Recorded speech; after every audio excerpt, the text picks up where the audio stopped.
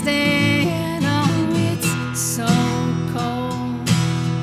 I'd rather sleep.